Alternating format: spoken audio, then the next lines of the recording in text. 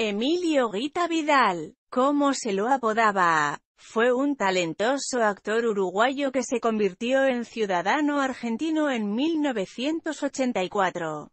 Compartió escena con grandes como Jorge Porcel, Alberto Olmedo, Juan Carlos Calabro y Javier Portales. Comenzó su carrera en 1950 en la que ha hecho de todo desde un romántico conquistador hasta un bailarín clásico.